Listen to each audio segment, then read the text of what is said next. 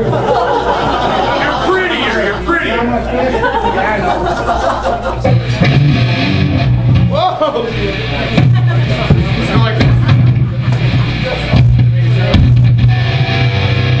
Okay, this song is about this guitar right here, that's why I switched.